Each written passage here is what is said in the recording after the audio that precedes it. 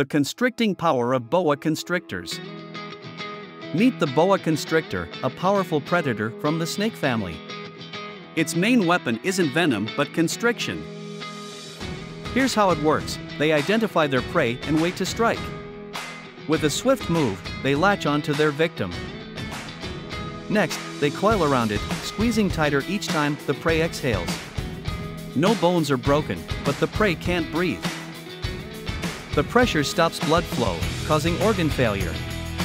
It's a silent, efficient predator. So, behold the mighty boa constrictor, its constricting power outshines even the most venomous snakes.